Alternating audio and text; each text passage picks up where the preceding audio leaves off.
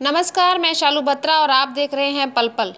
हरियाणा के मुख्यमंत्री मनोहर लाल ने खटीक समाज के प्रबुद्ध एवं अग्रणी लोगों से आह्वान किया है कि वे अंत्योदय की भावना पर चलते हुए समाज के पीछे रह गए लोगों को आगे लाने की पहल करें। उन्होंने कहा कि खटीक समाज गौरव और बहादुरी का प्रतीक है। मुख्यमंत्री ने खटीक समाज के धर्मगुरु संत शिरोमणि दुर्बलनाथ के नाम पर किसी शहर के चौराहे का नाम रखने या किसी शैक्षणिक संस्थान में ब्लॉक उनके नाम पर रखने की मांग को स्वीकार किया। उन्होंने जिला कष्ट निवारण समितियों में भी खटीक समाज को उचित प्रतिनिधित्व दिलवाने का आश्वासन भी दिया। मुख्यमंत्री मनोहर लाल बुधवार को चंडीगढ़ में अपने आवास पर प्रदेश भर से आए हरियाणा खटीक समाज के लोगों से रूबरू हुए।